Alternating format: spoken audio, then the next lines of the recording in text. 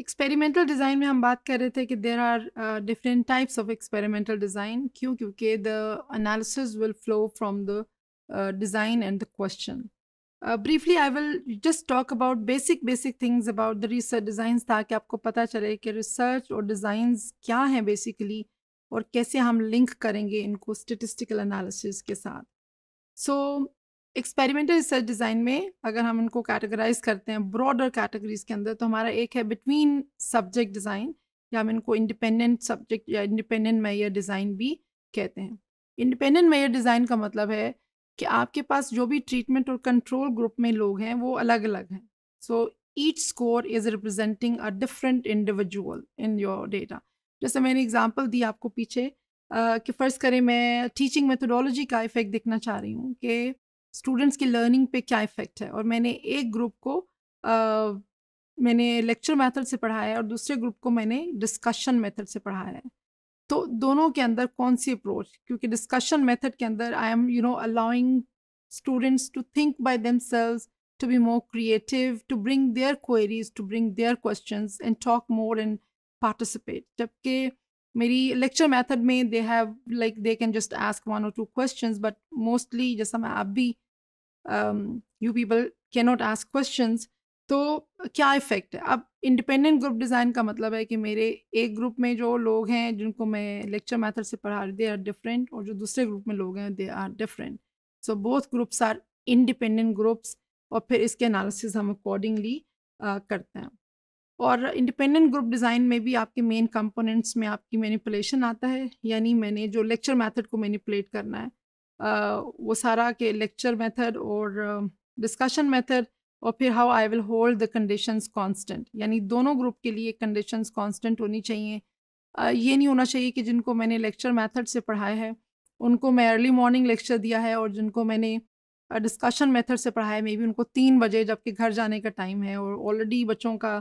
Lunch time है या फिर नैप टाइम है या वट तो उनको मैंने उस टाइम पढ़ाया है। या फिर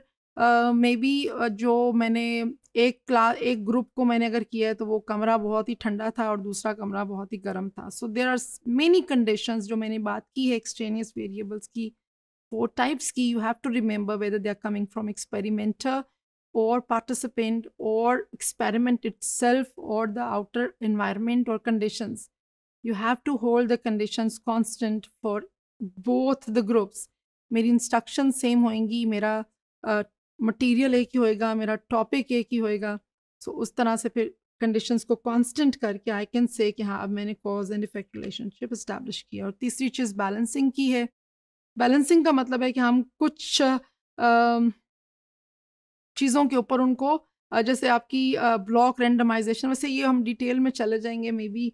आप लोग this is not the main point for this course लेकिन आप बैलेंसिंग कर सकते हैं दोनों ग्रुप्स की थ्रू ब्लॉक रेंडमाइजेशन या रेंडमाइजेशन या फिर थ्रू मैचिंग आप कर सकते हैं कि जस्ट टू मेक श्योर कि आपकी इंडिविजुअल डिफरेंसेस भी इक्वली हैं दोनों ग्रुप्स में, आपकी कंडीशंस भी कांस्टेंट हैं,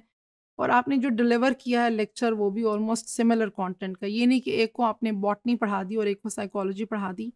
या किसी को मीडिया पढ़ा दिया और दूसरे ग्रुप में, दूसरे मेथड से आपने कोई और सब्जेक्ट पढ़ा दिया। That will be confound and can contaminate the findings और रिजल्ट्स और दूसरी हमारी टाइप होती है विद इन सब्जेक्ट डिज़ाइन या हम उनको रिपीटेड मेयर डिज़ाइंस भी कहते हैं। और रिपीटेड मेयर डिज़ाइन का मतलब है कि आप वही पार्टिसिपेंट्स वन कंडीशन में होंगे और वही पार्टिसिपेंट्स दूसरी कंडीशन में होंगे। यानी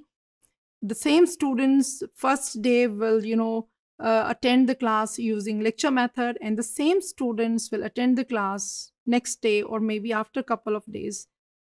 through discussion method and I will see कि वो सेम सब्जेक्ट्स के अंदर चेंजेस कैसे हैं लर्निंग के अंदर।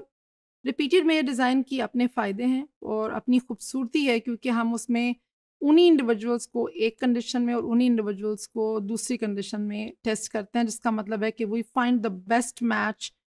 for the other group क्योंकि आपका अपना मैच आपसे बेहतर तो नहीं हो सकता। So we test them by holding the condition constant और बाकी सारी चीज़ों को फॉलो करके। लेकिन रिपीटेड में डिज़ाइंस के नुकसान भी हैं क्योंकि वो आप एक प्रैक्टिस इफ़ेक्ट आ जाता है आपका एक अवेयरनेस uh, हो जाती है कि what experimenter is trying to do उनको पहले ही एक किस्म का मे बी पता चल जाए ऐसे डिमांड करेक्टरिस्टिक्स हो सकते हैं कि आप क्या मेयर करना चाह रहे हैं और फिर अकॉर्डिंगली पार्टिसिपेंट्स का बिहेवियर चेंज हो जाता है। So they are certain drawbacks और certain advantage and some challenges in both design लेकिन द क्वेश्चन इज़ के the we will be using will be entirely different for repeated measures and for independent group design ये मैंने बता दिया already कि it is use usually हम repeated measure design तब use करते हैं जब हमारे पास सैंपल साइज़ कम हो when we want to really control the confounding variables और इंडिविजुअल डिफरेंसेस को हम मैक्सिमम कंट्रोल करना चाह रहे हों when we want to increase the sensitivity of experiment क्यों क्योंकि यूजली जब आप uh, ग्रुप्स लेते हैं यानी few individuals in this group, few individuals in the other group, definitely they're to be different. Definitely they're to be different because they cannot be same. तो हम वो सेंसिटिविटी अचीव नहीं करते कि वाकई वो फ़र्क जो आ रहा है डिपेंडेंट वेरिएबल में, वो इंडिपेंडेंट की वजह से आ रहा है या फिर इन इंडिविजुअल डिफरेंसेस की वजह से आ रहा है। सो रिपीटेड में ये design definitely help you you know increase the sensitivity of the experiment less time consuming more convenient no need for separate control groups these are the advantages however there are certain threats to internal validity of the experiment जैसा practice effect मैंने बात की है और फिर internal validity के लिए भी इंटरनल uh, वैलिडिटी क्या होती है? I am talking about it but just to you know clear it कि जब हम कहते हैं कि वाकई कॉज एंड इफ़ेक्ट हम जब इस्टेब्लिश करते हैं कि हम कहते हैं कि जो डिपेंडेंट वेरिएबल में चेंज आ रहा है वो इंडिपेंडेंट की वजह से ही आ रहा है।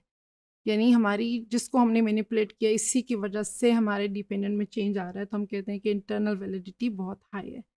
एक्सपेरिमेंटल uh, डिज़ाइंस की हमेशा इंटरनल वैलिडिटी काफ़ी ज़्यादा हाई होती है लेकिन रिपीटेड मेयर्स में uh, और फिर कुछ दूसरे डिज़ाइंस में मे बी अगर आपने मे बी हम डिटेल में चले जाएँगे लेकिन anyhow repeated measure design और इंडिपेंडेंट ग्रुप डिज़ाइन दोनों के अपने एडवांटेजेस डिसएडवांटेजेस हैं और दोनों में क्वेश्चंस uh, के आंसर्स डिपेंड करते हैं कि किस तरह का हमारा रिसर्च क्वेश्चन है और हम किस हद तक सेंसिटिविटी चाहते हैं फिर अकॉर्डिंगली हम डिज़ाइन जो है सिलेक्ट करते हैं। और फिर जब हम डिज़ाइन सेलेक्ट करते हैं तो उसी से हम स्टेटिस्टिकल एनालिसिस करेंगे फॉर